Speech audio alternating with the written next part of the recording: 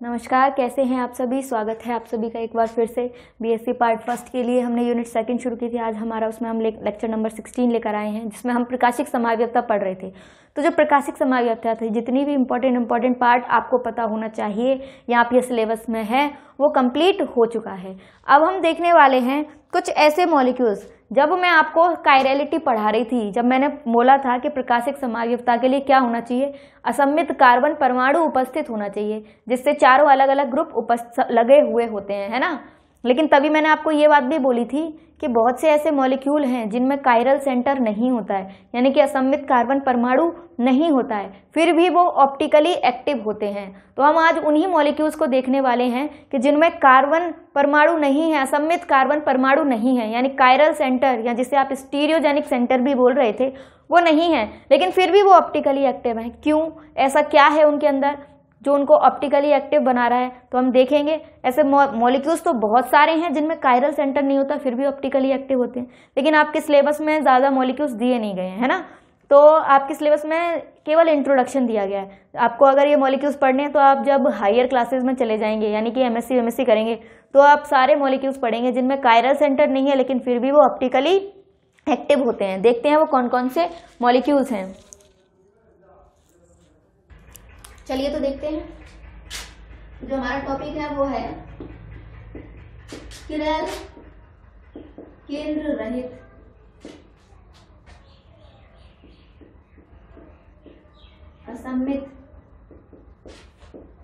किरल यानी कि मॉलिक्यूल जो है वो कायरल है, लेकिन उसमें कायरल सेंटर है कि नहीं? फिर भी एसिमेट्रिक है। क्यों है भाई? तो हम यहाँ लिख सकते हैं, क्या पढ़ रहे हैं हम? हमें पढ़ना क्या है? हमें पढ़ना है chiral molecules with no chiral centre यानी कि अब तक तो हमने ये पढ़ा था कि वही मॉलिक्यूल ऑप्टिकली एक्टिव होंगे जिनमें कायरल सेंटर होगा किरल केंद्र होगा, ऐसा कार्बन परमाणु होगा जिससे चार अलग अलग समूह उपस्थित होंगे। लेकिन अब ये तो कह रहा है कि कायरल सेंटर होना कोई ज़रूरी नहीं है। बहुत से ऐसे मॉलिक्यूल्स हैं जिनमें कायरल सेंटर नहीं है, फिर भी वो ऑप्टिकली एक्टिव हैं। है ना?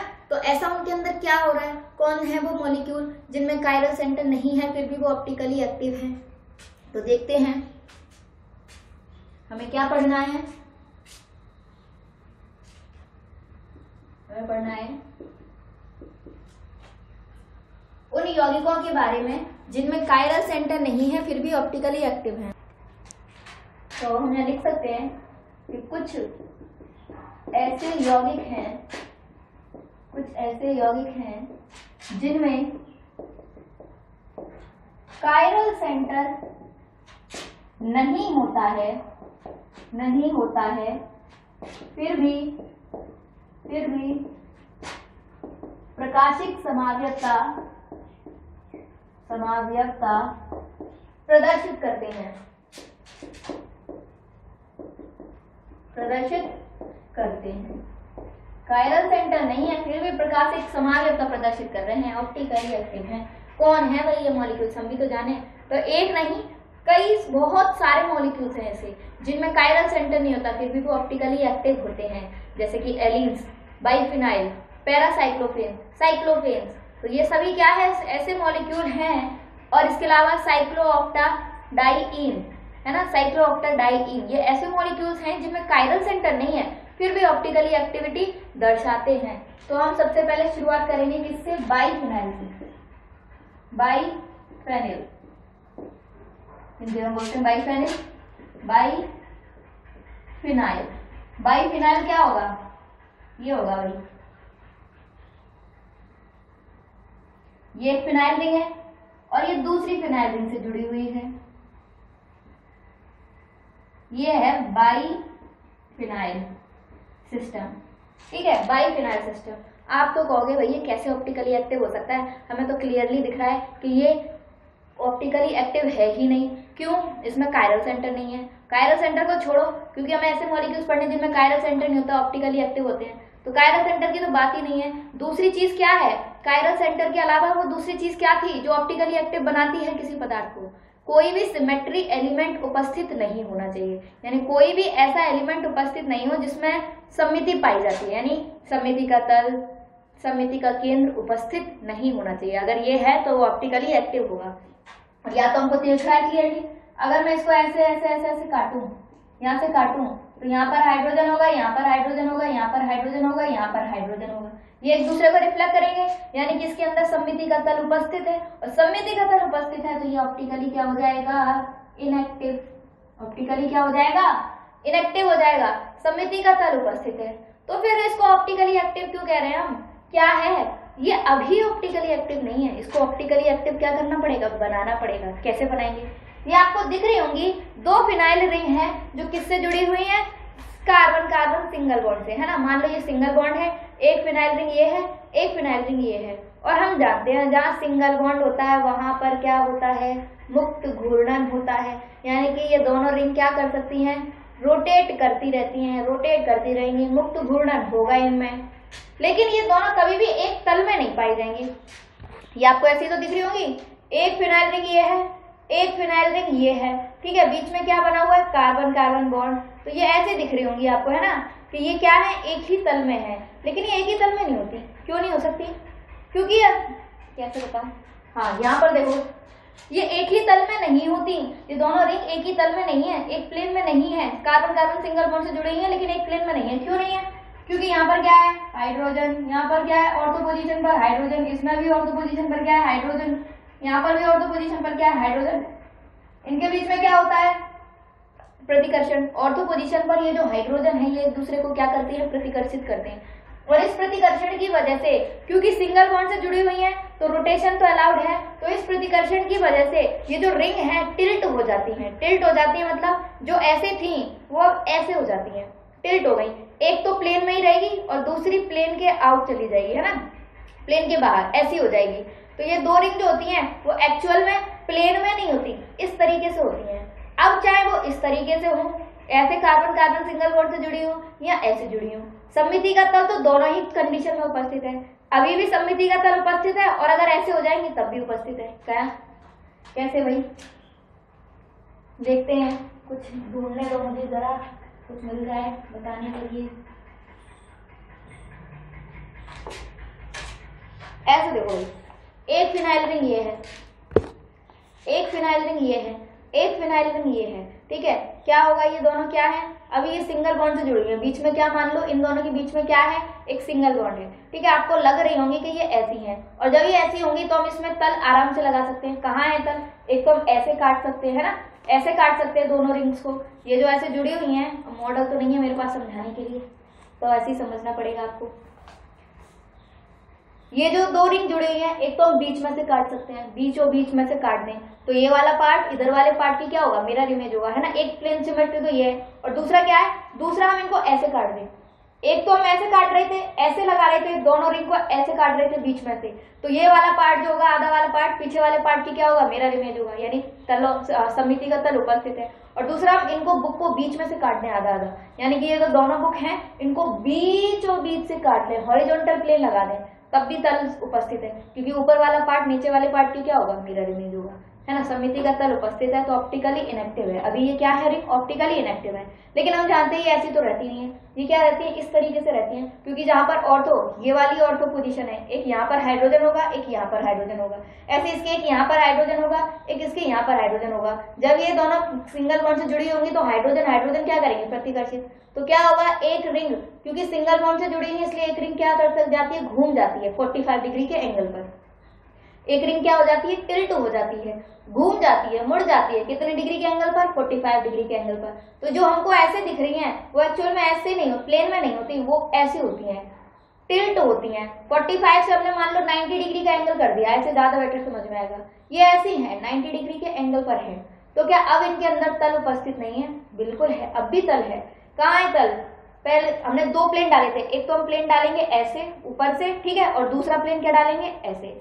तो जो बाईफिनाइल होते हैं, उसमें दो समिति के तल उपस्थित होते हैं। कौन कौन सा? एक तो जो ऊपर से डालेंगे हम, इस तरीके से वर्टिकल वर्टिकल और दूसरा हॉरिजॉन्टल इस तरीके से काटेंगे, है ना? तो अभी भी देखो, अगर हम ऊपर से काटें, अगर हम ऊपर से काटें तो ये वाली बुक तो दो पार्ट में डिवाइड हो जाएगी। ये वाली बुक तो क्या होगी? दो पार्ट में डिवाइड हो जाएगी।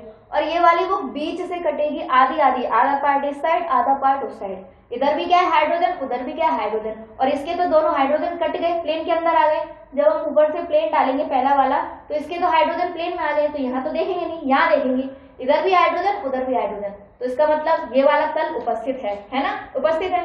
और अगर तल एक भी उपस्थित हुआ तो फिर वो क्या हो जाता है? ऑप्टिकली इनएक्टिव इसका मतलब इसमें तल उपस्थित है तो ये कैसा होगा? ऑप्टिकली इनएक्टिव यानी कि ये प्रकाशिक समाव्यता को प्रदर्शित नहीं करेगा।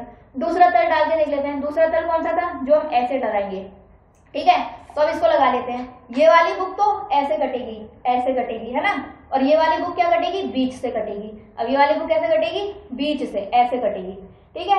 तो जब हम देखते हैं, ये वाली बुक तो पूरी कट गई। आधा पार्ट ऊपर रह जाएगा, आधा पार्ट नीचे रह जाएगा। ऊपर हाइड्रोजन नीचे हाइड्रोजन प्लेन रहेगा, है ना? और ये वाली बुक कैसे कटेगी? ऊपर भी हाइड्रोजन है, नीचे भी हाइड्रोजन है। दो पार्ट में कट गई। इसका मतलब ये वाला प्लेन भी उपस्थित है और ये वाला प्लेन भी उपस्थित है। दोनों प्लेन उपस्थित है। तो इसका मतलब ये क्या होती है? इस कंडीशन में भी ये कैसी होती है? ऑप्टिकली इनेक्टिव इस कंडीशन में भी ये क्या है? ऑप्टिकली इनएक्टिव तो फिर ये ऑप्टिकली एक्टिव कब होगी? इस तो इसमें कायरल सेंटर नहीं है। ऊपर से क्या है? ऑप्टिकली इनएक्टिव है। तो अब ये कब ऑप्टिकली एक्टिव होगी? तो वो हमें देखना है। तो ये रिंग ऐसे नहीं रहती। क्या होती है? इस तरीके से रहती है उपस्थित।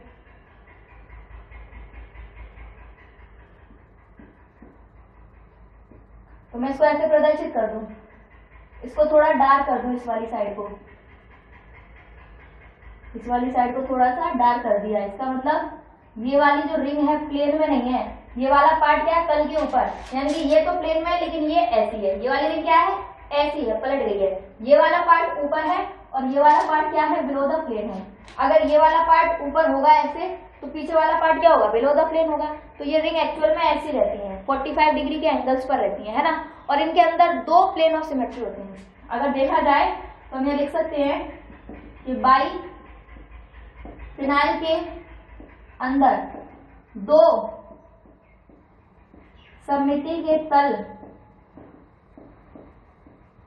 उपस्थित होते हैं। कितने होते हैं? दो समिति के तल उपस्थित होते हैं। कौन सा? एक तो ये वाला होगा। मैं ऐसे आधा आधा काट दू। ऐसे आधा आधा काट दू, है ना? तो ये वाली रिंग तो ऐसे है ना? ऐसे। तो आधा पार्ट ऊपर रह जाएगा, आधा पार्ट ऊपर। और ये वाली रिंग क्या कट जाएगी? ऐसे कट जाएगी। तो यहाँ पर भी हाइड्रोजन है और यहाँ पर भी क्या है? हाइड्रोजन है है ना? यहाँ पर भी हाइड्रोजन है, यहाँ पर भी हाइड्रोजन है। और ये वाली रिंग तो ऐसे थी तो ये वाली रिंग तो पूरी कट जाएगी, पूरी कट गई, ठीक है? और ये वाली रिंग में इधर हाइड्रोजन इधर हाइड्रोजन इसका मतलब तल उपस्थित है।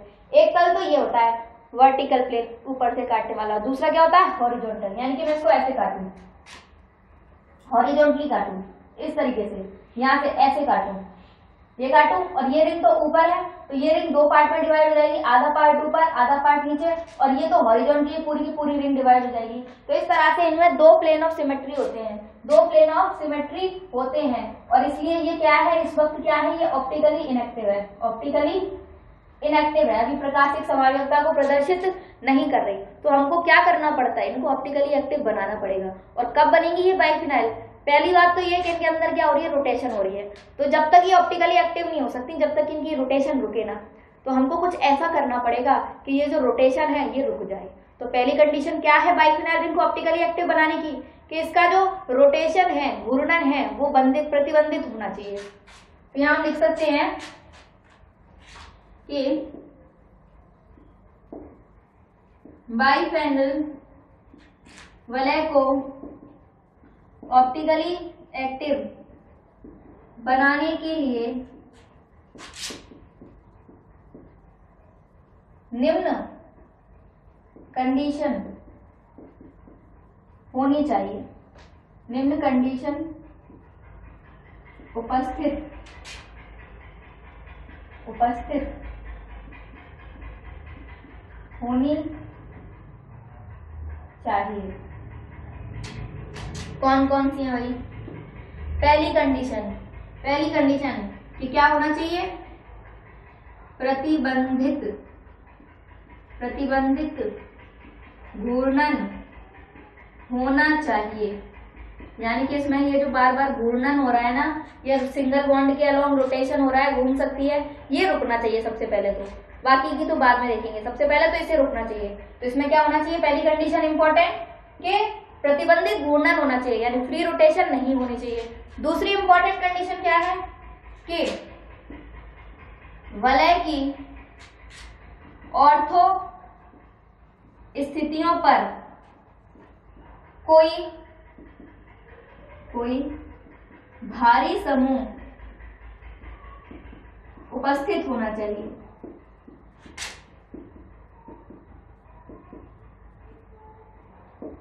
ठीक है ये दो कंडीशन अगर हैं, अगर ये दोनों कंडीशन हैं, प्रतिबंधित घूर्णन भी है और दूसरा क्या है वलय की ऑर्थो स्थितियों पर कोई भारी समूह उपस्थित होना चाहिए, यानी कि ये जो हाइड्रोजन है, ये हाइड्रोजन हटाकर कोई बड़ा समूह लगा दे, जैसे सी ओ ओ एस ये हाइड्रोजन हटा के कोई बड़ा ग्रुप लगा दे, जैसे एनओ टू तो इस तरह के ग्रुप उपस्थित होने चाहिए ऑर्थो पोजिशन पर, है ना? और दूसरा प्रतिबंधित घूर्णन होना चाहिए। तब जाके बाईफिनाइल क्या होती है ऑप्टिकली एक्टिव तो हम यहाँ लिख सकते हैं यदि ये दोनों कंडीशन उपस्थित हैं उपस्थित हैं तो तो बलय क्या होगी ऑप्टिकली एक्टिव होती है। अगर ऐसी दोनों कंडीशन है, यानी कि प्रतिबंधित घूर्णन है और ऑर्थो स्थितियों पर कोई बड़ा समूह, बल्कि समूह उपस्थित है। बड़ा समूह से मतलब बल्कि, भारी हैवी होना चाहिए, ठीक है? ऐसा कोई समूह जो ज़्यादा जगह घेरे, ऐसा कोई समूह उपस्थित है तो ये क्या हो जाएँगे? ऑप्टिकली एक्टिव और एक्चुअल में अगर ऑर्थो पोजिशन पर हम कोई ग्रुप लगा दें तो सीधी सी बात है, इनमें रोटेशन फिर होगा ही नहीं। होगा ही नहीं क्यों? ये रिंग है, ठीक है? ये मान लो, एक ये ऑर्थो दो ऑर्थो पोजिशन है, ये, एक ये और एक ये, ठीक है? दो ऑर्थो पोजिशन है। यहाँ पर कोई बड़ा सा ग्रुप लगा दू मैं। यहाँ पर कोई बड़ा सा ग्रुप लगा दिया मैंने, ठीक है? यहाँ पर भी कोई बड़ा सा ग्रुप लगा दिया। तो ये वाली जो रिंग है, इसकी ऑर्थो पोजिशन ये है, एक ये है है ना? यहाँ पर भी मैं कोई बड़ा सा ग्रुप लगा दूँ और यहाँ पर भी कोई बड़ा सा ग्रुप लगा दूँ। तो ये क्या होगा? फिर ये घूम नहीं पाएगा, घूम नहीं पाएगा। जैसे घूमने की कोशिश करेगा, यहाँ से प्रतिकर्षण लगेगा, है ना? जैसे ये इधर की तरफ़ घूमने की कोशिश करेगा, यहाँ से प्रतिकर्षण लगेगा इन दोनों के बीच में। यहाँ से प्रतिकर्षण लगेगा। तो ये घूम नहीं पाएगा। तो इसका मतलब जैसे ही हम कोई बल्कि ग्रुप लगा देते हैं तो यहाँ पर तुरंत क्या हो जाता है? प्रतिबंधित घूर्णन हो जाता है। कोई बड़ा समूह ऑर्थो स्थितियों पर लगाते ही घूर्णन जो है वो प्रतिबंधित हो जाता है। फिर ये रिंग घूमेगी नहीं। फिर इसमें रोटेशन नहीं होगी, है ना? तो रोटेशन नहीं होगी, प्रतिबंधित घूर्णन हो गया, पहली कंडीशन पूरी हो गई और दूसरा ऑर्थो स्थितियों पर क्या लगेगा? बल्कि ग्रुप दूसरी कंडीशन भी पूरी होगी। अगर ऐसा है तो जो हमारी रिंग होगी वो ऑप्टिकली एक्टिव होगी। ठीक है? अब सवाल ये उठता है क्या? कि चार ऑर्थो स्थितियाँ हैं। एक तो यहाँ यहाँ पर यहाँ पर और यहाँ पर। तो क्या हमको चारों को प्रतिस्थापित करना ज़रूरी है? यानी ऑप्टिकली एक्टिव होने के लिए क्या हमें चारों स्थितियों पर अलग अलग ग्रुप लगाने पड़ेंगे या फिर एक ही स्थिति पर काम हो जाएगा? तो आपका जवाब है कि ज़रूरी नहीं है कि आप चारों स्थितियों पर कोई बल्कि ग्रुप लगाएँ। किसी एक स्थिति पर भी लगा दीजिए। मान लो यहाँ लगा दिया। बाकी सब क्या है? हाइड्रोजन हाइड्रोजन है। ठीक है, बाकी सब क्या है? हाइड्रोजन हाइड्रोजन है। तब भी प्रतिबंधित घूर्णन होगा, यानी तब भी रोटेशन पॉसिबल नहीं होगा। प्रतिबंधित घूर्णन होगा तो ऑप्टिकली एक्टिव हो जाए, क्योंकि दोनों कंडीशन पूरी हो गई। तो हम केवल एक ग्रुप भी लगाएँ, केवल एक ग्रुप के प्रतिस्थापन से घूर्णन जो है वो प्रतिबंधित हो जाएगा, है ना? रिंग जो है वो ऑप्टिकली एक्टिव हो जाएगी। लेकिन शर्त ये है कि जो हम ग्रुप लगा रहे हैं, जो बल्कि ग्रुप लगा रहे हैं, वो इतना बड़ा होना चाहिए वो इतना बड़ा होना चाहिए कि वो प्रतिबंधित घूर्णन कर सके, यानी रिंग को रोटेट होने से रोक सके। सिंगल सब्सटीट्यूशन से काम हो जाएगा, केवल एक हाइड्रोजन को प्रतिस्थापित करने से काम हो जाएगा, लेकिन जो हम प्रतिस्थापन कर रहे हैं, वो कोई बड़ा ग्रुप होना चाहिए, ताकि रिंग का रोटेशन जो है वो रुक सके। ये एक इम्पोर्टेंट कंडीशन है, ठीक है? तो इस तरह से बाईफिनाइल रिंग ऑप्टिकली एक्टिव हो सकती है, यानी कि अब अब ये क्या है? ऑप्टिकली एक्टिव हो जाएगी। ऑप्टिकली एक्टिव हो जाएगी। कब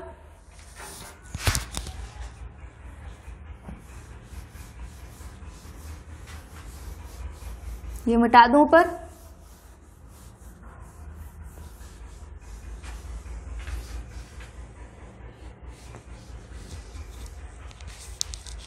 ठीक है?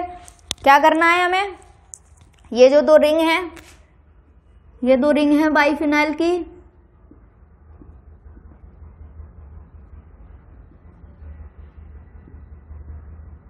ये तो रिंग है। ये वाली ग्रुप कैसा है? ये वाला पार्ट को थोड़ा डार्क करेंगे, क्योंकि ये दोनों एक प्लेन में नहीं हो सकती। एक प्लेन में नहीं हो सकती। एक होगी एव द प्लेन और एक और एक होगी तल में, ठीक है? ये वाली रिंग तो जो है वो तल में है, और ये वाली रिंग कैसी है? ये वाली रिंग है तल के ऊपर, यानी ये ऐसी है। एक रिंग ऐसी है और एक रिंग ऐसी है। परपेंडिकुलर है दूसरी रिंग के, ठीक है? तो हम ऐसे प्रदर्शित करेंगे। अब हमको क्या करना पड़ेगा? यहाँ पर हमने लगा दिया NO2 ग्रुप ठीक है? यहाँ पर लगा दिया सी ओ ओ एच ग्रुप वही। अब तो ग्रुप प्रतिस्थापित कर दिए। अब तो इसमें रोटेशन हो ही नहीं सकता। ठीक है? ये दो ग्रुप तो इधर प्लेन में है और ये रिंग ऐसी है। तो एक ग्रुप तो लगेगा तल के ऊपर और एक ग्रुप का लगेगा तल के नीचे। एक ग्रुप तो तल के ऊपर होगा और एक ग्रुप का होगा तल के नीचे। तो इनमें प्रतिकर्षण की तो कोई संभावना अब है ही नहीं और रिंग का रोटेशन भी पॉसिबल नहीं है। तो एक यहाँ पर लगा दिया हमने सी ओ ओ एच ग्रुप और यहाँ पर लगा दिया हमने एनओ टू ग्रुप तो क्या अभी ऑप्टिकली एक्टिव है? हाँ भाई अब ये क्या है? ऑप्टिकली एक्टिव है। क्योंकि ग्रुप लगाने से बड़े बड़े ग्रुप लगाने से, ये जो घूर्णन होना था, वो क्या हो गया? प्रतिबंधित हो गया। अब ये घूर्णन नहीं कर सकते रोटेशन नहीं कर सकते। दूसरा, बल्कि ग्रुप लगाने से ये ऑप्टिकली एक्टिव भी हो गए। कैसे? क्योंकि इनमें जो तल थे, कितने तल थे? दो थे। कितने प्लेन ऑफ़ सिमेट्री थे? दो। अब दोनों के दोनों खत्म हो गए। दोनों के दोनों खत्म हो गए। यानी कि अगर हम ये वाला तल लगाएँ, ये वाला, ठीक है? ये रिंग तो खड़ी हुई है, ये लेटी हुई नहीं है, ये तो ऐसी है है ना? ऐसी है ये रिंग, ऊपर की तरफ़ है, इस तरीके से। ये ऐसी नहीं है, ये ऐसी है, ठीक है? तो अब मैं ऐसे काटूं, ऐसे, ठीक है? यहाँ से तल लगाऊँ तो ये वाली रिंग तो पूरी कट जाएगी। ये वाली रिंग जो है, ये वाली रिंग जो है, ये तो पूरी कट गई। NO2 ग्रुप भी कट गया और COOH भी कट गया। लेकिन ये वाली रिंग क्या होगी? जब हमने ऐसे काटा, बीच में से काटा तो ये वाली जो रिंग है, ये तो पूरी कट गई, है ना? पूरी की पूरी कट गई। NO2 भी कट गया COH भी कट गया। और ये वाली जो है, ये बीच में से कटी है। ये तो तल पे उपस्थित है, ये बीच में से कटी है। इधर क्या है? COH इधर क्या है? NO2 तो क्या ये दोनों एक दूसरे की मिरर इमेज है? क्या ये दोनों सेम है? नहीं भाई सेम नहीं है। और सेम नहीं है, इसका मतलब ये वाला तल इसमें उपस्थित नहीं है। ये वाला तल इसमें उपस्थित नहीं है। चलो, ये वाला तो नहीं है। लेकिन इसमें तो दो दो तल होते हैं। दूसरा भी तो चेक करना पड़ेगा, दूसरा है या नहीं है। ठीक है, दूसरा है या नहीं है। तो ये रिंग तो ऐसी थी ना, अब हम इसको ऐसे काटेंगे। मेरे हाथ को बीच में से काट दो, ऐसे, बीच में से काटते काटते काटते ऐसे ले जाओ। तो ये रिंग ऐसी नहीं है, ऐसी है ना? तो अब मैं इस रिंग को बीच में से काटूँगी और ये वाली तो पूरी कट जाएगी। ये वाली तो बीच में से कटेगी ऐसे, है ना? और ये वाली पूरी कट जाएगी। सी ओ एच भी कट जाएगा एनओ टू भी कट जाएगा और ये रिंग ठीक है? अब जब ये बीच में से कटेगी, जब ये बीच में से कटेगी तो एक तरफ़ क्या है? NO2 एक तरफ़ क्या है? COH क्या NO2 और COH एक दूसरे की मिरर इमेज हो सकते हैं? कभी नहीं हो सकते. दोनों एक जैसे है ही नहीं. इसका मतलब इसके अंदर दोनों सिमेट्री के जो तल थे, दो, दोनों प्लेन ऑफ़ सिमेट्री थे, वो क्या है? अनुपस्थित हैं. दोनों ही समिति के तल अनुपस्थित हैं. इसलिए अब ये क्या है? ऑप्टिकली एक्टिव है. अब ये क्या है? ऑप्टिकली एक्टिव है. तो वाई फिनाइल क्या इसके अंदर कोई सेंटर ऑफ़ सिमेट्री उपस्थित है? ऐसा कोई कार्बन उपस्थित है जिस पर चारों ग्रुप अलग अलग हो? नहीं ना।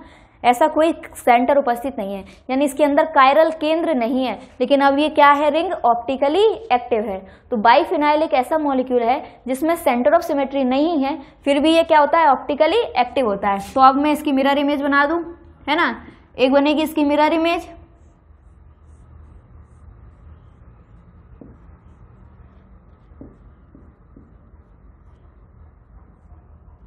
ठीक है? ये वाला तल के ऊपर है तो इसको भी तल के ऊपर दिखा दे भाई। दिखाना पड़ेगा। ये वाली रिंग तल के ऊपर है ना तो मेरा इमेज में ये वाली रिंग क्या होगी? तल के ऊपर आएगी। ठीक है? ये ऊपर है तो ये वाला पार्ट क्या हो जाएगा? तल के नीचे हो जाएगा बिलो द प्लेन सिंपल सी बात है। जब एक रिंग ऊपर आएगी तो दूसरी वाली पार्ट क्या होगा? पीछे की साइड चला जाएगा। तो यहाँ पर लगा हुआ है क्या? यहाँ पर लगा हुआ है NO2 टू यहाँ पर लगा हुआ है सी ओ एच ठीक है? यहाँ पर क्या लगा हुआ है? NO2 टू यहाँ पर लगा हुआ है COOH ये दोनों एक दूसरे की क्या है? मिरर इमेज और वो भी कैसी? क्या ये एक दूसरे के ऊपर सुपर इम्पोज हो सकती हैं? क्या ये सुपर इम्पोज हो सकती हैं? नहीं हो सकती. मैं इस रिंग को उठा के इसके ऊपर रखूँ तो क्या सुपर इम्पोज हो जाएगी? नहीं. ये वाली रिंग खड़ी हुई है और ये वाली रिंग बैठी हुई है प्लेन में. तो इम्पोज तो हो ही नहीं सकती. इसका मतलब ये भी क्या है? Optically active. अब ये क्या हो गई? ऑप्टिकली एक्टिव है। बिना किसी कायरल सेंटर के ये रिंग क्या हो गई अब? Optically active. तो बाईफिनाइल ऐसे मॉलिक्यूल्स हैं जिनमें कायरल सेंटर नहीं है, फिर भी ये ऑप्टिकली एक्टिव होते हैं। ठीक है?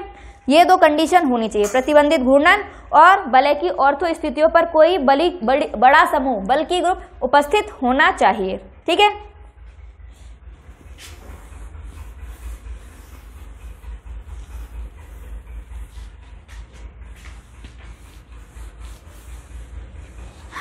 चलो भाई ऑप्टिकली एक्टिव हो गए। तो क्या अब हम आर एस कर सकते हैं? बिल्कुल कर सकते हैं। आर एस कर सकते हैं? बिल्कुल कर सकते हैं। एक और एग्ज़ाम्पल देख लेते हैं, उसके बाद करेंगे आर एस अगर ऐसा हो, यहाँ पर भी सी ओ ओ एच है, यहाँ पर भी सी ओ ओ एच है, इधर भी सी ओ ओ एच है, इधर भी हमने सी ओ ओ एच लगा दिया। ठीक है, ये रिंग कैसी है? एवब द प्लेन है। यानी एक रिंग टिल्ट है। ठीक है तो क्या भी ऑप्टिकली एक्टिव है? पहली कंडीशन तो फॉलो हो रही है, बल्कि ग्रुप लग गए जिसकी वजह से घूर्णन जो है प्रतिबंधित हो गया है ना, और दूसरी कंडीशन भी फॉलो हो रही है। लेकिन क्या इसके अंदर प्लेन ऑफ़ सिमेट्री अनुपस्थित है? नहीं हो सकती ना। सॉरी अब ठीक है? नहीं हो सकती। क्योंकि अगर मैं इसको ऐसे काटूँगी तो सी ओ एच के सामने कौन आएगा? सी ओ एच आएगा। और अगर मैं इसको ऐसे काटूँगी, तब भी इसमें सी ओ एच के सामने कौन आएगा? सी ओ एच आएगा। इसका मतलब ये ऑप्टिकली क्या है? इनएक्टिव है। क्यों? क्योंकि इसमें क्या उपस्थित है? सम्मिति का तल उपस्थित है। तो ऑप्टिकली एक्टिव होने के लिए एक इंपॉर्टेंट कंडीशन है कि चाहे कायरल सेंटर हो या ना हो, लेकिन समिति का कोई भी एलिमेंट उपस्थित नहीं होना चाहिए। यानी प्लेन ऑफ़ सिमेट्री इंटर और क्या कहते हैं सेंटर ऑफ़ सिमेट्री कभी भी उपस्थित नहीं होना चाहिए। क्योंकि अगर उपस्थित हुए तो मॉलिक्यूल क्या हो जाएगा? ऑप्टिकली इनेक्टिव हो जाएगा। ऑप्टिकली इनेक्टिव हो जाएगा। फिर चाहे प्रतिबंधित घूर्णन हो या ना हो, या फिर उसमें कोई सब्सटीट्यूशन हो या ना हो, उससे कोई फ़र्क नहीं पड़ता। क्योंकि बल की ग्रुप लगा रखे हैं, घूर्णन भी प्रतिबंधित है, फिर भी ऑप्टिकली इनेक्टिव है। क्यों? क्योंकि इसके अंदर तल उपस्थित है। तो सिमेट्री एलिमेंट्स कभी भी नहीं होने चाहिए मॉलिक्यूल्स के अंदर। तभी वो ऑप्टिकली एक्टिव होगा, चाहे सेंटर ऑफ़ सिमेट्री हो या ना हो। ठीक है? बात आती है भाई आरएस करने की। आरएस करना बहुत आसान है। जैसा हमने सीखा था, जैसा कि हमने सीखा था। बस एक चीज़ होनी चाहिए कि बॉन्ड की ओरिएंटेशन डिफाइन होनी चाहिए। सबसे इंपॉर्टेंट कंडीशन है। यानी कि बॉन्ड एवर द प्लेन है बिलो द प्लेन है, ये पता होना चाहिए। जो कि हमें यहाँ दिख रहा है ओरिएंटेशन डिफाइन है ही। ये वाली रिंग एवव द प्लेन है तो ये वाला ग्रुप क्या होगा? एवव द प्लेन होगा। ये वाला ग्रुप क्या होगा? बिलो द प्लेन होगा। बस इतना पता होना चाहिए कि कौन एवब है, कौन बिलो है। बाकी के दो ग्रुप तो क्या होने चाहिए? तल पर होने चाहिए। याद है ना वेज में? जैसे आरएस किया था फिशर में जैसे आरएस किया था, वहाँ भी हमने क्या देखा था कि एवब द प्लेन है या बिलो द प्लेन है? चौथा रूल वही लगेंगे सारे आरएस के। जो हमने, क्या कहते हैं उसमें देखे थे? वेज में और फिशर में देखे थे आर एस आर एस के रूल सारे वही ही हैं, वही हैं वही हैं वही हैं। सबसे पहला काम क्या है? प्रायोरिटी देना। पहला काम क्या है? प्रायोरिटी देना। दूसरा काम क्या है कि चौथा जो ग्रुप है, चौथा जिसको प्रायोरिटी मिलेगी, वो हमेशा क्या होना चाहिए? बिलो द प्लेन होना चाहिए। और अगर वो बिलो द प्लेन है तो क्लॉकवाइज चलने पर आर एंटी क्लॉकवाइज चलने पर एस, है ना? लेकिन अगर ऐसा नहीं है, चौथा ग्रुप बिलो द प्लेन नहीं है, क्या है? एवव द प्लेन है। तो उल्टा हो जाएगा, क्लॉकवाइज चलने पर एस हो जाएगा और एंटी क्लॉकवाइज चलने पर आर। सिंपल। ये कितना डिटेल में आप लोगों को पढ़ा है अब तो आपको आर एस रट जाने चाहिए कि कैसे करते हैं, है ना? तो बस वही करना है। बस एक काम होना चाहिए बॉन्ड की ओरिएंटेशन पता होनी चाहिए। बस ये पता होना चाहिए कौन एवब है और कौन बिलो इतना ज़रूर पता होना चाहिए। जब तक ये पता नहीं होगा, तब तक हम आरएस नहीं कर सकते, ठीक है? क्या करेंगे? यहाँ से यहाँ तक एक तीर खींचेंगे। तीर हमेशा कहाँ पर खींचना है? किधर की साइड खींचना है? जहाँ पर एवब और बिलो पता हो, वहाँ पर तो तीर का क्या होना चाहिए? हेड होना चाहिए। और जो प्लेन में है, वहाँ पर क्या होना चाहिए? टेल तो हेड हमेशा किधर की तरफ़ होना चाहिए? जहाँ पर ओरिएंटेशन है, ठीक है? अब दे दो इनको प्रायोरिटी यहाँ पर डायरेक्ट कौन जुड़ा हुआ है? कार्बन। यहाँ पर डायरेक्ट कौन जुड़ा हुआ है? नाइट्रोजन। किसकी प्रायोरिटी ज़्यादा होती है? कार्बन की या नाइट्रोजन की? भाई, नाइट्रोजन का एटॉमिक नंबर ज़्यादा है कार्बन से। तो पहली प्रायोरिटी मिल गई इसको, दूसरी मिलेगी इसको। इधर आए, इधर पहली प्रायोरिटी तीसरी नंबर किसको मिलेगा? ये हो गया तीसरा और ये हो गया क्या हमारा? चौथा। सॉरी उल्टा हो गया। उल्टा हो गया। ठीक है? ये हमने तीर लगा लिया। तीर की हेड कहाँ पर होगा हमेशा? तीर का हेड कहाँ पर होगा? जहाँ पर ओरिएंटेशन होगी बॉन्ड की, यानी कि जहाँ पर एवब और बिलो पता होंगे हमको, ठीक है? अब यहाँ से नंबरिंग शुरू करते हैं। पहली प्रायोरिटी दूसरी, ठीक है? तीसरी प्रायोरिटी इसको मिलेगी, चौथी प्रायोरिटी इसको मिलेगी। भाई, चौथी प्रायोरिटी वाला ग्रुप कैसा है? दिख रहा है हमको, कैसा है? तल के पीछे है बिलो द प्लेन है। तो कर दो। वन से गए टू टू से गए थ्री मूवमेंट कैसा है? एंटी क्लॉकवाइज वन से गए टू टू से गए थ्री मूवमेंट कैसा रहा? कैसे चले हम? एंटी क्लॉकवाइज और एंटी क्लॉकवाइज जा रहे हैं और ग्रुप कैसा है? पीछे है। तो सिंपल एंटी क्लॉकवाइज में ये क्या हो जाएगा? एस तो ये क्या है? एस और एस की मिरर इमेज हमेशा क्या होगी? आर ये कैसा होगा? आर चाहे तो आप निकाल लीजिए। इधर लगाएँगे तीर का निशान, क्योंकि इधर बॉन्ड डिफाइन है। यहाँ से करेंगे नंबरिंग पहली प्रायोरिटी दूसरी प्रायोरिटी तीसरी प्रायोरिटी चौथी प्रायोरिटी यहाँ पर भी चौथी प्रायोरिटी वाला ग्रुप कहाँ है? तल के पीछे। तो चलेंगे सिंपल वन से गए टू टू से गए थ्री मूवमेंट कैसा है? क्लॉकवाइज मूवमेंट कैसा है? क्लॉकवाइज चौथा ग्रुप कहाँ है? बिलो द प्लेन तो क्लॉकवाइज है तो ये क्या हो जाएगा?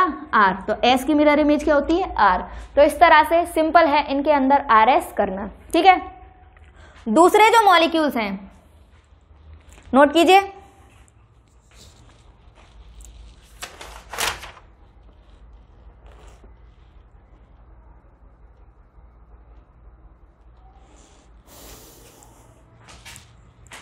ठीक है? नोट कीजिए, एक एग्ज़ाम्पल और कर ले रहे हैं ताकि आपको आर एस क्लियर हो जाए। रूल सारे वही हैं आर एस के। यहाँ पर है हाइड्रोजन ये रिंग कैसी है? एव द प्लेन है। इसको मैंने दिखा दिया ओरिएंटेशन डिफाइन कर दे रही हूँ। क्योंकि जब तक ओरिएंटेशन डिफाइन नहीं होगी, जब तक दोनों रिंग में ये नहीं पता होगा कौन सी रिंग एव द प्लेन है, यानी कौन सी रिंग टिल्ट है और कौन सी रिंग प्लेन पे है, तब तक हम आर एस नहीं कर सकते। ठीक है? डिफाइन कर दी, यहाँ पर लगा हुआ है एसओ थ्री एच यहाँ पर लगा हुआ है हाइड्रोजन इधर लगा हुआ है एसओ थ्री एच ठीक है, पहले तो ये देखना ऑप्टिकली एक्टिव है कि नहीं, है वही, क्योंकि क्या है रेस्ट्रिक्टेड रोटेशन है, और बड़े बड़े ग्रुप भी लगे हुए हैं एसओ थ्री एच तो इसका मतलब इसके अंदर रेस्ट्रिक्टेड रोटेशन है, आप तो कहो यहाँ तो हाइड्रोजन लगे हुए हैं तो मैंने बोला सिंगल ग्रुप से भी काम हो जाता है, अगर ये भी हाइड्रोजन होता और ये लगा होता, तब भी ये ऑप्टिकली एक्टिव होता, है ना? तो सिंगल से ही काम हो जाता है। लेकिन यहाँ पर तो दो दो लगे हुए हैं। प्लेन देखें। अगर मैं ऐसे काटूँगी तो SO3 के सामने कौन आएगा? H, और ये तो पूरी कट जाएगी, है ना? अगर मैं ऐसे काटूँगी तो SO3 के सामने कौन आएगा? H, और ये तो पूरी कट जाएगी। दोनों प्लेन ही नहीं है। दोनों प्लेन नहीं है। ना तो ये वाला प्लेन है, ना तो ये वाला प्लेन उपस्थित है। इसका मतलब ये क्या होगा? ऑप्टिकली एक्टिव होगा। ऑप्टिकली एक्टिव होगा तो RS कर दो भाई। कर देते हैं। यहाँ से यहाँ तक क्योंकि एव द प्लेन तो ये है तो तीर का निशान ऐसे लगाया। नंबरिंग करेंगे यहाँ से। यहाँ पर डायरेक्ट कौन जुड़ा हुआ है? सल्फ़र और यहाँ पर कौन जुड़ा हुआ है? हाइड्रोजन तो पहली प्रायोरिटी किसको? सल्फ़र को। दूसरी प्रायोरिटी हाइड्रोजन को। फिर इस कार्बन पर आगे देखेंगे, इस रिंग पर देखेंगे।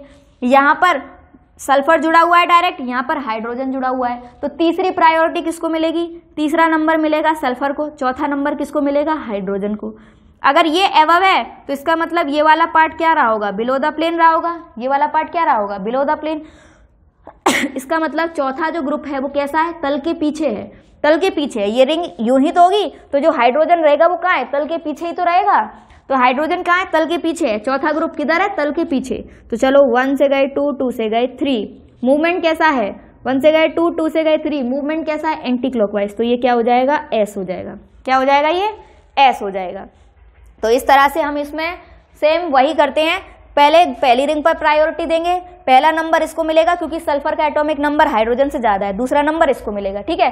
फिर इस रिंग पर देखेंगे, फिर जिस पे अबव और बिलो है, उस रिंग पर नंबर देंगे। ये नाइट्रो, सल्फ़र जुड़ा हुआ है डायरेक्टली यहाँ पर कौन जुड़ा हुआ है? हाइड्रोजन। किसकी प्रायोरिटी ज़्यादा है? सल्फ़र की ज़्यादा होती है तो तीसरा नंबर इसको दे दिया। ये कौन से नंबर पर चला गया? चौथे नंबर पर, ठीक है? रिंग पर जब एक ही कार्बन होगा तो तो एक, दो, तीन, चार एक ही कार्बन पर देते हैं। यहाँ तो अलग अलग रिंग है तो रिंग पर देखना पड़ेगा। पहले इस वाली रिंग पर जो प्लेन में होती है, जो रिंग तल पर होती है सबसे पहले उस पर नंबरिंग करनी होती है। सबसे पहले उस पर प्रायोरिटी देखनी पड़ती है। तो उस पर देंगे दो प्रायोरिटी वन टू उसके बाद थ्री फोर कहाँ देखेंगे? अगली रिंग जो कि क्या है? तल के ऊपर या तल के नीचे उपस्थित होगी। तो इस तरह से हम इनमें आरएस करते हैं। ठीक है? आगे चलते हैं।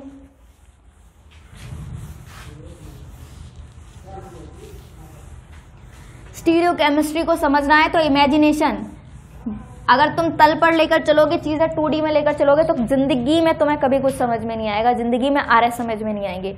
हमेशा क्या लेकर चलना है? मॉलिक्यूल को थ्री में लेकर चलना है। इमेजिन करना है मॉलिक्यूल को कैसा है। जो मैं बता रही हूँ, बोर्ड पर बना रही हूँ, उसको तुमको इमेजिन करना है। मॉलिक्यूल बोर्ड के बाहर दिखना चाहिए तुमको। तब तुम्हारी स्टीरियो केमिस्ट्री अच्छी होगी। अदरवाइज़ बहुत से बच्चों को स्टीरियो केमिस्ट्री समझ में नहीं आती, क्योंकि उनकी इमेजिनेशन बिल्कुल रद्दड़ होती है। कभी इमेजिन ही नहीं कर पाते मॉलिक्यूल को कि कैसा है। चाहे कितना भी टीचर बता बता के मर जाए, नहीं कर पाते। और फिर अभी तो वीडियो में चल रहे हैं। सामने हो तो सामने डाउट क्लियर भी हो जाते हैं ना। बच्चे के कई दिमाग में कुछ डाउट आ रहा है। नहीं समझ पा रहा कैसे है। तो वो बार बार पूछ सकता है तो डाउट क्लियर हो जाते हैं। वीडियो में वो चीज़ नहीं हो सकती। तो आपके पास एक ही ऑप्शन है कि बार बार वीडियो को रीप्ले करो, ठीक है? चीज़ को समझने की कोशिश करो अंडरस्टैंड करो और आगे चलो, ठीक है? तो एक तो देखिए हमने बाईफिनाइल दूसरे मॉलिक्यूल्स जिनमें कैरल सेंटर नहीं है, लेकिन फिर भी ऑप्टिकली एक्टिव है। वो कौन होते हैं? वो होते हैं एलिन कौन है? Allene. A double L E N E allene. बहुत ही अच्छे मॉलिक्यूल्स हैं, अलीन। जैसे, अलीन को समझना है, पहले ये समझना होगा आपको। ये है हमारे पास carbon double bond single bond अब ये क्या है? डबल बॉन्ड है सिंगल बॉन्ड है डबल बॉन्ड है सिंगल बॉन्ड है। एकांतर है है ना? एकांतर है तो ये यहाँ जाएगा, ये यहाँ जाएगा। तो यहाँ पर क्या हो रहा है? संयुग्मन हो रहा है कंजुगेशन हो रहा है। तो इस सिस्टम को बोलते हैं कंजुगेटेड कंजुगेटेड है। कैसा है? संयुग्मित सिस्टम है। ये सिस्टम कैसा है? कंजुगेटेड। संयुग्मित है। यहाँ पर संयुग्मन हो रहा है है ना? तो ये एलिन तो नहीं है। ये कैसा है? संयुग्मित सिस्टम है। और एक सिस्टम ये लें, जहाँ पर कार्बन कार्बन डबल बॉन्ड, ये भी डबल बॉन्ड से जुड़े हुए हैं। यहाँ पर डबल बॉन्ड लगातार है। एक के बाद एक है। इस सिस्टम को संयुग्मित नहीं कहेंगे ये कहलाता है कुमुलेटेड क्यूम्यू क्यूम्यूलेटेड ये सिस्टम क्या कहलाता है? क्यूम्यूलेटेड जब ऐसे डबल बॉन्ड हो, जब एक के बाद एक डबल बॉन्ड जुड़े हुए हैं सिंगल बॉन्ड तो आ ही नहीं रहा बीच में। ये भी डबल बॉन्ड है, ये भी डबल बॉन्ड है है ना? तो ये वाला जो कार्बन है, दोनों तरफ़ डबल बॉन्ड से बंधा हुआ है। तो ऐसे डबल बॉन्ड को क्या बोलते हैं? क्यूमुलेटेड क्या बोलते हैं? क्यूमुलेटेड ठीक है? तो ये जो एलियंस होती हैं, इनको एक और नाम से भी जाना जाता है। एलियंस को एक और नाम से भी जाना जाता है। इन्हें क्या कहते हैं? इन्हें क्यूमुलिन भी कहते हैं। क्यूमुलिन भी कहते हैं। एलियंस को क्या कहते हैं? क्यूमुलिन भी कहते हैं। क्यूमुलिन समझ में आ रहा होगा? अगर ये क्यूमुलिन है तो इसमें क्या होना चाहिए? क्यूमुलेटेड डबल बॉन्ड होने चाहिए। इसका मतलब ऐसे मॉलिक्यूल्स जो होंगे, उनको हम क्या कहते हैं? अलीन्स कहते हैं। और ये जो सिस्टम है, ये अलीन में नहीं आते। ऐसे सिस्टम अलीन नहीं कहलाते। तो ये अलीन नहीं है। ये जो सिस्टम है, अब यहाँ पर कोई ग्रुप जुड़े होंगे, है ना? हो सकता है चारों क्या हो? हाइड्रोजन और हाइड्रोजन तो ये क्या है? अब ये बन गया अलीन। क्या है ये? सबसे सिंपल एलिन है, सबसे सिंपल मॉलिक्यूल है अलीन का। तो ये क्या है? अलीन। इनको क्यूमुलिन भी कहते हैं। क्यूमुलिन क्यों? क्योंकि जो डबल बॉन्ड है, वो लगातार होते हैं, है ना? लगातार होते हैं। अब ये जो तुमको बोर्ड पर देखने में लग रही होगी ऐसी, ये हकीकत में ऐसी नहीं होती। जैसे बाईफिनाइल तुमको प्लेन में लग रही थी ना, वो प्लेन में नहीं होती। वैसे ये भी। जैसी तुमको दिख रही हैं। अब तुम ऐसे दिख रही होंगी ना डबल बॉन्ड डबल बॉन्ड दोनों प्लेन पर होंगे, है ना? लेकिन ये ऐसे नहीं होते। ये भी बाईफिनाइल की तरह होती हैं। एक डबल बॉन्ड ऐसे है तो दूसरा डबल बॉन्ड ऐसे होगा, है ना? ये इस तरीके से जुड़े होते हैं। एक डबल बॉन्ड प्लेन में है तो दूसरा परपेंडिकुलर होगा। तो ऐसे होंगे, ऐसे समझ लो। दो हाइड्रोजन अगर तल में है ये वाले दो हाइड्रोजन अगर तल में है, ये तल में है, ये भी हाइड्रोजन है, ये भी हाइड्रोजन है, एक ही तल में है। तो ये हाइड्रोजन कैसे होंगे? अपोजिट एक अप होगा, दूसरा क्या होगा? डाउन एक अप होगा, दूसरा क्या होगा? डाउन और ये दोनों क्या है? तल में तो क्यूमुलिन भी कैसे होते हैं? परपेंडिकुलर होते हैं। एक ऐसी रिंग होगी तो एक इसके परपेंडिकुलर होगी। एक ऐसी प्लेन में रिंग होगी तो दूसरी क्या होगी? परपेंडिकुलर तो क्यूमुलिन भी जैसे दिख रहे हैं, वैसे नहीं होते। लेकिन क्या अभी ये ऑप्टिकली एक्टिव है? क्या अभी ऑप्टिकली एक्टिव है? नहीं। जैसे बाईफिनाइल में कितने समिति के तल होते हैं? दो। वैसे ही एलिन में भी कितने समिति के तल होते हैं? दो होते हैं। तो यहाँ पर लिख दें कि इनमें दो दो समिति के तल उपस्थित होते हैं। इनमें कितने सिमेट्री तल उपस्थित होते हैं? दो। वही दो। एक तो ये वाला, ठीक है, और एक ये वाला। अगर मैं इसको ऐसे बनाऊँ, अभी जैसे मैंने बताया, दो तो प्लेन पे होते हैं। दो हाइड्रोजन क्या होंगे? प्लेन पर। एक क्या होगा? एक होगा प्लेन के अप और दूसरा हाइड्रोजन क्या होगा? प्लेन के डाउन है ना? तो इस तरीके से होंगे। दो प्लेन में है हाइड्रोजन ये दोनों एक ही तल में है, और ये क्या होंगे? अप और डाउन तो कौन कौन से प्लेन लगा सकते हैं? एक तो हम ऐसा प्लेन लगाएँगे, है ना? जो इन दोनों हाइड्रोजन को कहाँ से काटेगा? बीच में से काटेगा। और इन दोनों हाइड्रोजन को कहाँ से काटेगा? पूरा काटेगा। ये वाला प्लेन क्या करेगा? इन दोनों को तो पूरा काट देगा। बीच, ये तो दोनों हाइड्रोजन कट गए। और जबकि ये वाले जो दो हाइड्रोजन है, ये बीच में से गुजरेगा। ये वाला प्लेन कहाँ से गुजरेगा? बीच में से। एक हाइड्रोजन इधर रह जाएगा, एक हाइड्रोजन इधर रह जाएगा। और ये दोनों तो कट गए। तो यहाँ पर हाइड्रोजन के सामने ये हाइड्रोजन है ये वाला हाइड्रोजन है, इसके सामने कौन है? हाइड्रोजन हाइड्रोजन के सामने हाइड्रोजन उपस्थित है, यानी कि ये वाला तल उपस्थित है। तो ये वाला तल इसमें उपस्थित है। दूसरा देख लेते हैं। दूसरा कौन सा तल होता है? दूसरा तल होता है हॉरिजोंटल इस तरीके से। एक तो हमने अभी ऐसे तल लगाया, है ना? ऐसे काटा। अब दूसरा कैसे लगाएँगे? हॉरिजोंटल ऐसे काटेंगे। यानी कि ये जो रिंग है, अब ये क्या होगा? ऐसे प्लेन लगाएँगे। तो ये वाली तो बीच से कटेंगे। ये दोनों हाइड्रोजन कहाँ से कटेंगे? बीच से। एक ऊपर रह जाएगा और एक नीचे। ये दोनों आप पूरे नहीं कटेंगे, ठीक है? कहाँ से कटेंगे? बीच में। कार्बन कटेगा, एक हाइड्रोजन ऊपर, एक हाइड्रोजन नीचे रह जाएगा, है ना? लेकिन ये वाले तल में, जब ये वाला तल लगाया तो ये दोनों हाइड्रोजन तो क्या हो जाएँगे? पूरे कट जाएँगे। ये दोनों हाइड्रोजन तो क्या हो जाएँगे? पूरे कट जाएँगे। ये वाले तल में ये दोनों हाइड्रोजन तो पूरे कट गए। लेकिन ये जो दोनों हाइड्रोजन थे, ये दोनों तो बीच में से कटे हैं। एक ऊपर रह गया, एक नीचे। ठीक है? ये तो पूरे कट गए, इनका तो मतलब नहीं। लेकिन ऊपर वाले के सामने कौन है? हाइड्रोजन ऊपर वाला हाइड्रोजन के सामने कौन है? नीचे वाला हाइड्रोजन दोनों हाइड्रोजन हाइड्रोजन है। इसका मतलब सम्मिति का तल उपस्थित है। तो अगर इस कंडीशन में देखा जाए तो इसके अंदर दो सिमेट्री प्लेन ऑफ़ सिमेट्री उपस्थित हैं। इसके अंदर दो प्लेन ऑफ़ सिमेट्री उपस्थित हैं। इसीलिए अभी ये क्या है? ऑप्टिकली इनएक्टिव है। अभी ये क्या है? ऑप्टिकली इनएक्टिव तो फिर ये ऑप्टिकली एक्टिव कब होंगी? तो इसमें भी कुछ कंडीशन होती हैं, है ना? इसमें भी कुछ कंडीशन होती हैं। एलिन के ऑप्टिकली एक्टिव होने के लिए निम्न कंडीशन होनी चाहिए। तो यहाँ लिख सकते हैं। एलिन के ऑप्टिकली एक्टिव होने के लिए निम्न कंडीशन उपस्थित होनी चाहिए। दो कंडीशन बताएँगे, वो उपस्थित होनी चाहिए। तो तो ऑप्टिकली एक्टिव होंगे अदरवाइज़ नहीं। पहली कंडीशन क्या है? कि द्विबंध जो हैं डबल बॉन्ड जो हैं, द्विबंध क्या होने चाहिए? कंटिन्यूअस होनी चाहिए। कंटिन्यूअस मतलब बीच में कोई सिंगल बॉन्ड नहीं आना चाहिए। डबल बॉन्ड के बाद डबल बॉन्ड होने चाहिए। तो द्विबंध क्या होने चाहिए? कंटिन्यूअस कंटिन्यूअस की हिंदी नहीं पता मुझे, इसलिए कंटिन्यूअस लिख रही हूँ। कंटिन्यूअस का मतलब लगातार, यानी कि अगर ये डबल बॉन्ड है तो सिंगल बॉन्ड नहीं आना चाहिए बीच में। ये भी क्या होना चाहिए? डबल बॉन्ड होना चाहिए। तो डबल बॉन्ड क्या होनी चाहिए? लगातार होने चाहिए। ठीक है, पहली कंडीशन क्या है? द्विबंध कंटिन्यूअस होने चाहिए। ठीक है? दूसरी कंडीशन क्या है?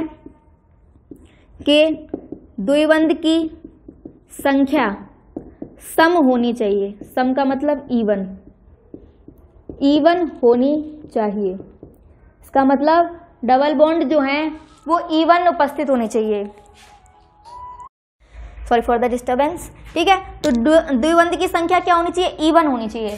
पहला तो डबल बॉन्ड लगातार होनी चाहिए, और दूसरी कंडीशन ये है कि इवन होने चाहिए। इवन का मतलब इवन का मतलब या तो दो होने चाहिए, या चार होने चाहिए, या छह होने चाहिए, या तो फिर आठ होने चाहिए। ठीक है? ऐसे नहीं होने चाहिए। तीन, पाँच एक, तीन, पाँच, सात, ये क्या हो गए? ऑड हो गए।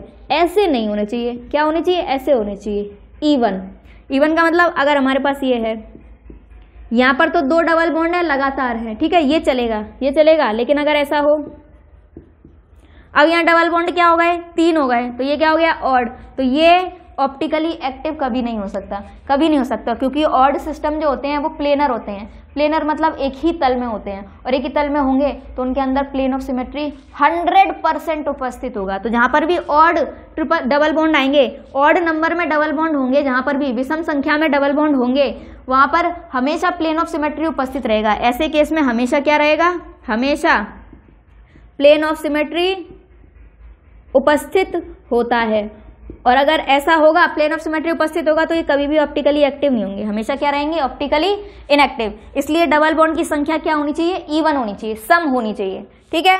तो दूसरी कंडीशन तो ये है कि डबल बॉन्ड कैसे होनी चाहिए? इवन और पहली कंडीशन क्या है? कंटिन्यूस होनी चाहिए। दूसरे इवन होने चाहिए। ये दोनों कंडीशन हर हाल में होनी चाहिए। ठीक है? जब ऐसा हो जाए, जब ये दोनों कंडीशन फॉलो हो जाए तो तीसरी कंडीशन क्या है? तीसरी कंडीशन है कि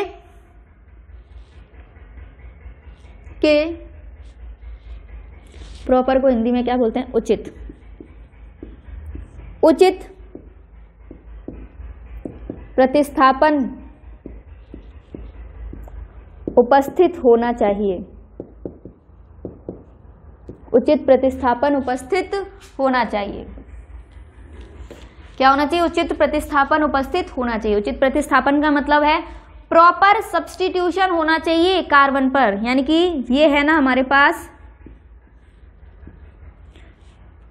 यहाँ पर अगर हम देखें, मैंने ये बना दिया H H H और H ठीक है? पहली कंडीशन फॉलो हो रही है? हो रही है भाई कंटिन्यूस है। दूसरी कंडीशन फॉलो हो रही है? हो रही है भाई ईवन है। लेकिन तीसरी कंडीशन फॉलो नहीं हो रही यहाँ पर। उचित प्रतिस्थापन नहीं है। यहाँ तो चारों क्या है? हाइड्रोजन है। तो अभी ये ऑप्टिकली एक्टिव नहीं होगी। अभी ये ऑप्टिकली एक्टिव नहीं होगी। प्रॉपर सब्सटीट्यूशन कब होगा? जब मैं यहाँ पर भी सी एस थ्री लगा दिया, ठीक है? और मैंने यहाँ पर भी क्या लगा दिया? सी एस थ्री लगा दिया, ठीक है?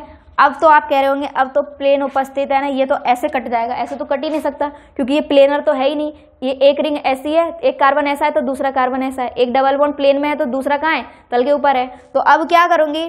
अगर मैं ऐसे काटूं तो सी एस थ्री के सामने कौन आएगा? हाइड्रोजन और ये दोनों तो आपस में कट जाएँगे। ये एक एब द प्लेन होगा, और ये क्या होगा? एक हाइड्रोजन बिलो द प्लेन होगा। तो ये दोनों तो कट जाएँगे, ऐसे लगाया तो ये दोनों तो बेचारे कट गए। यहाँ से लिखूं। ये क्या है? बिलो द प्लेन है। ये क्या है? एवब द प्लेन है। तो ये दोनों बेचारे तो कट गए। ये तो कट गए आपस में, इनमें तो रिफ्लेक्शन होगा ही नहीं, लेकिन सी एस थ्री के सामने एच है तो इसका मतलब ये वाला तल तो नहीं है। अगर मैं इसको ऐसे काटूं, ऐसे तो ये दोनों तो आपस में कट जाएँगे, लेकिन सी एस थ्री नीचे होगा तल के, और एच का होगा, ऊपर होगा। इसका मतलब सी एस थ्री के सामने कौन है? एच तो मैं ऐसे भी नहीं काट सकती, यानी ये वाला तल भी उपस्थित नहीं है। तो इसका मतलब अब यहाँ पर प्रॉपर सब्सटीट्यूशन है, अब यहाँ पर प्रॉपर सब्सटीट्यूशन है, अब दोनों तल उपस्थित नहीं है तो अब ये क्या होगा? ऑप्टिकली एक्टिव तो ऑप्टिकली एक्टिव होने के लिए ये तीनों कंडीशन फॉलो होने चाहिए। डबल बॉन्ड कंटिन्यूस होने चाहिए। डबल बॉन्ड की संख्या इवन होनी चाहिए और इन पर उचित प्रतिस्थापन होना चाहिए। उचित प्रतिस्थापन का मतलब क्या है? उचित प्रतिस्थापन का मतलब है कि अगर मैं ऐसा लिख दूँ, क्या लिख दूँ? ये ए है, ये बी है, ये सी है, ये डी है। ठीक है? तो एक ही कार्बन पर दो समान परमाणु उपस्थित नहीं होने चाहिए। ये याद है आपको? ज्योमेट्रिकल आइसोमेरिज में मैंने पढ़ाया था। कार्बन कार्बन के बीच क्या होना चाहिए? डबल बॉन्ड और अभी हम पढ़ेंगे, ये इस टॉपिक के बाद ये जो आपकी प्रकाशिक समाव्यवता है, वो खत्म हो गई। ठीक है? इसके बाद हम शुरू करेंगे जामितीय समाव्यवता उसमें मुश्किल से लगेगा एक लेक्चर ठीक है? उसके बाद करेंगे सनुरूपण समाव्यवता उसमें लगेंगे मुश्किल से तीन लेक्चर ठीक है? उसके बाद यानी टोटल चार लेक्चर के बाद आपकी ये यूनिट खत्म। आपकी ये यूनिट खत्म। ठीक है? ज़्यादा नहीं खींचेंगे इसको। तो क्या होना चाहिए?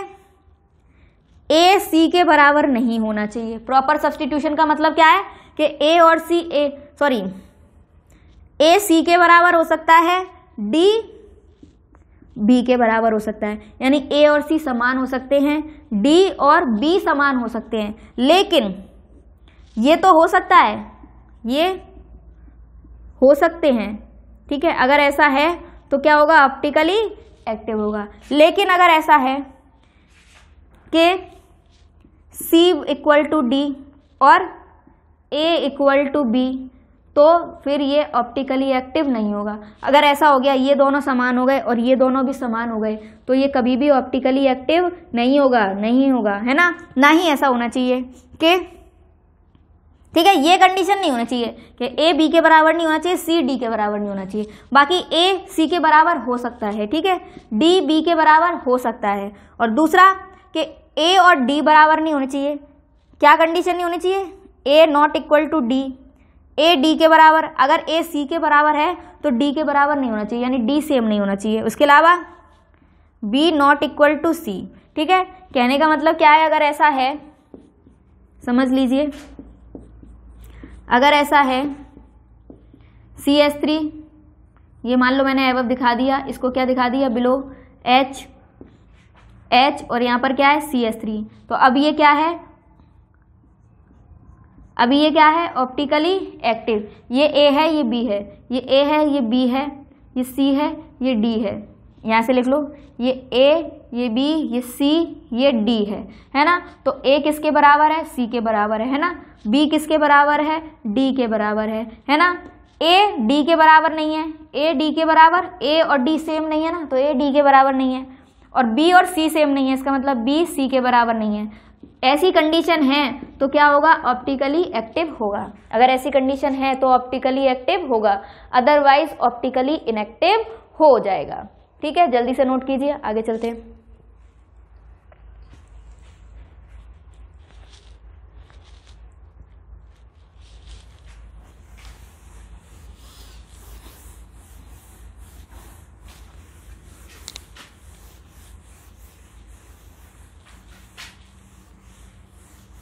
अब बारी आती है आर एस करने की।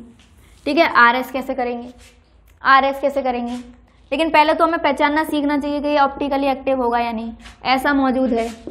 C O O H H C O O H C O H इधर है एच ठीक है, एक मॉलिक्यूल है C double one C double one C ठीक है C O O H H C O O H H ठीक है? अब मुझे बताओ इन दोनों में से कौन ऑप्टिकली एक्टिव होगा? तो तीनों कंडीशन लगाएँगे। डबल बॉन्ड क्या होनी चाहिए? लगातार। पहली कंडीशन फॉलो हो रही है। डबल बॉन्ड क्या है? लगातार है। दूसरी कंडीशन क्या थी? डबल बॉन्ड की संख्या इवन होनी चाहिए। यहाँ कितने? एक, दो, तीन। ये तो क्या हो गए? ऑड हो गए।